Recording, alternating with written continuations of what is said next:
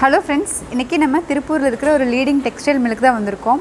ஒரு நூல்லேருந்து நம்ம யூஸ் பண்ணுற ஒரு துணியாக வர வரைக்கும் என்ன ப்ராசஸ் இருக்குது அதுக்கு பின்னாடி எத்தனை பேர்த்தோட உழைப்பு இருக்குது அப்படிங்கிறத நம்ம இன்றைக்கி தெரிஞ்சுக்க போகிறோம் வாங்க ஒவ்வொரு ப்ராசஸாக உள்ளே போய் பார்க்கலாம்.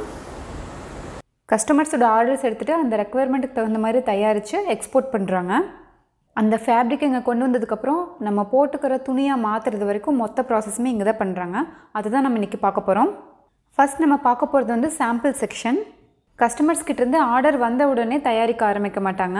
ஏன்னா ஆர்டர் வந்து பல்காக வர்றதுனால ஃபஸ்ட் வந்து சாம்பிளிங் பண்ணுவாங்க. அவங்களோட ரெக்குவயர்மெண்ட்ஸ்க்கு தகுந்த மாதிரி டிசைன் பேட்டர்ன் செஞ்சதுக்கப்புறம் அதை கஸ்டமர்ஸ் கிட்ட காமிச்சிட்டு அவங்க அப்ரூவல் வாங்கினதுக்கப்புறம் தான் தயாரிக்க ஆரம்பிப்பாங்க.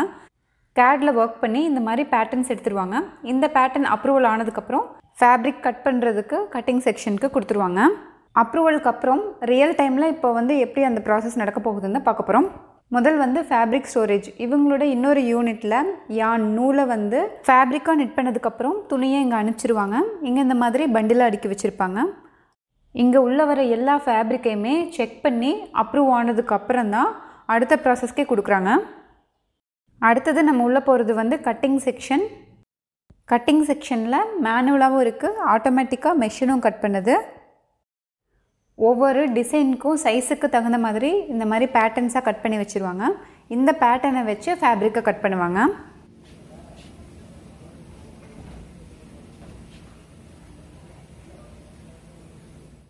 இது வந்து ஆட்டோமேட்டிக் கட்டிங் மிஷின் பேட்டர்ன் வந்து இதில் ஃபீட் பண்ணிடுவாங்க அதுக்கப்புறம் லேசர் வச்சு ஆட்டோமேட்டிக்காக கட் பண்ணிகிட்டே வந்துட்ருக்கோம்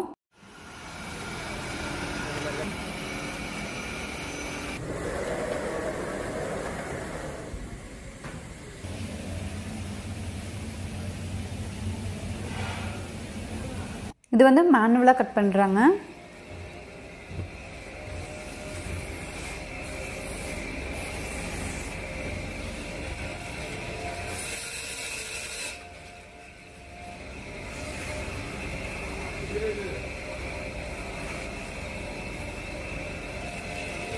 கட் பண்ணி இந்த எக்ஸ்ட்ரா வர பீசஸ் எல்லாமே வந்து கிலோ கணக்கில் வாங்கிக்குவாங்க.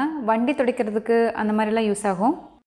ட்ரெஸ்ஸோட பின்னாடி சைடில் பிராண்ட் அதுக்கப்புறம் அந்த சைஸை வந்து ஸ்டிக்கரிங் பண்ணுற மிஷின் இது. ஃபேப்ரிக் எல்லா சைஸ்லேயுமே கட் பண்ணுறதால தைக்கும் போது மிக்ஸ் ஆகிடக்கூடாது அப்படிங்கிறதுனால இங்கே டெம்பரரி ஒரு ஸ்டிக்கர் ஒட்டுவாங்க. தச்சு முடிச்சதுக்கப்புறம் அந்த ஸ்டிக்கரை ரிமூவ் பண்ணிடுவாங்க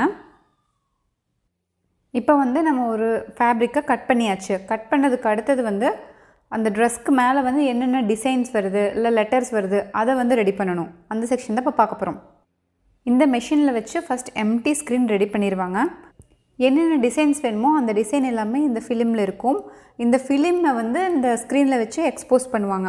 அந்த எக்ஸ்போஸ் பண்ணுற டைம் மொத்த ப்ராசஸ்க்கும் வந்து கிட்டத்தட்ட ஒன்றரை டு ரெண்டு மணி நேரம் ஆகும் அப்படிங்கிறாங்க.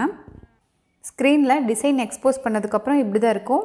இந்த ஸ்க்ரீனை கொண்டு போய் தான் நம்ம ட்ரெஸ்ஸில் பிரிண்ட் பண்ணுவாங்க.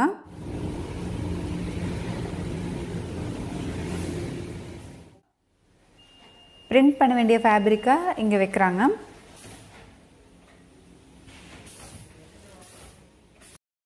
அடுத்ததில் வந்து ஜெல் அப்ளை பண்ணுது. நம்ம வெளியில் பார்த்தோம்னா அந்த ஸ்க்ரீன் தான் இது. இதிலிருந்து வெளியில் வரும்போது நம்மளுக்கு டிசைன் தெரியாது. அதுக்கு அடுத்ததில் தான் டை அப்ளை ஆகுது.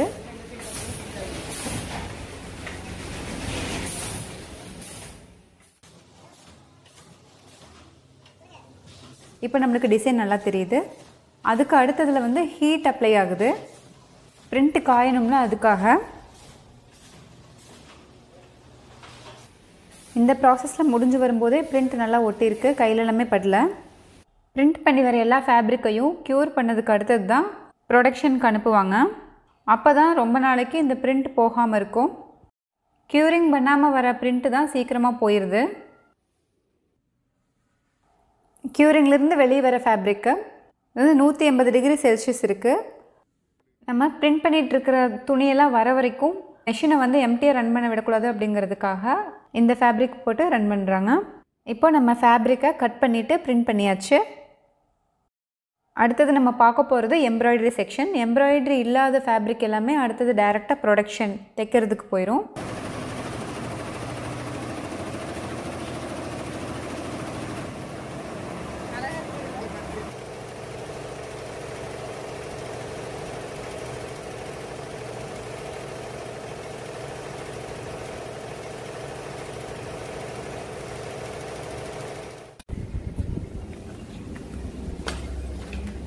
தைக்கிற அடுத்தது இது வந்து ப்ரொடக்ஷன் செக்ஷன் இங்கே தான் வந்து துணியெல்லாம் வந்து தைச்சிட்டு அதுக்கப்புறம் குவாலிட்டி செக் பண்ணி அனுப்புவாங்க.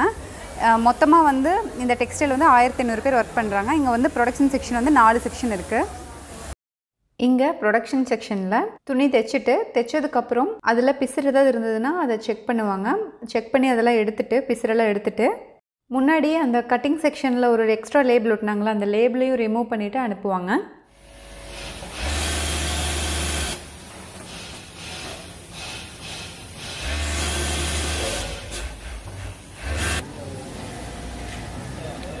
இந்த எடுத்துருவாங்க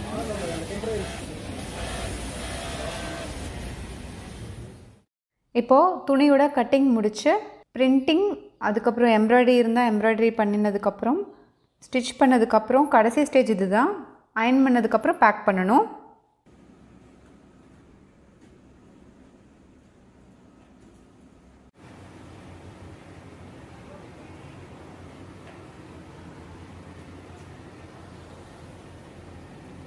ப்ரொடக்ஷன்லேருந்து வர ஒவ்வொரு துணியுமே இந்த மாதிரி நீட்டாக தேய்ச்சி தான் பேக் பண்ணுறாங்க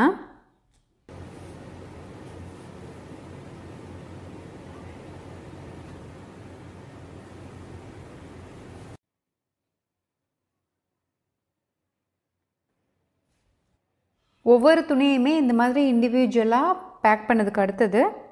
இந்த மாதிரி பெரிய அட்டைப்பெட்டியில் பேக் பண்ணுறாங்க ட்ரெஸ் வந்து நல்லா அயன் பண்ணி பேக் பண்ணதுக்கப்புறம் இந்த மாதிரி காட்டன் பாக்ஸில் வந்து பேக் பண்ணிடுவாங்க இது வந்து அடுத்தது ஷிப்மெண்ட்டுக்கு ரெடியாக இருக்கும். எந்த லொக்கேஷனுக்கு போகணுமோ அதுக்கு தகுந்த மாதிரி டிஸ்பேச் பண்ணுவாங்க. பேக் பண்ண எல்லா அட்டைப்பெட்டியுமே இந்த ரூமில் ஸ்டோர் பண்ணிடுவாங்க அதுக்கு அடுத்தது இங்கேருந்து லாரியில் அனுப்பி எந்த துறைமுகத்துக்கு கொண்டு போகணுமோ அங்கே கொண்டு போயிடுவாங்க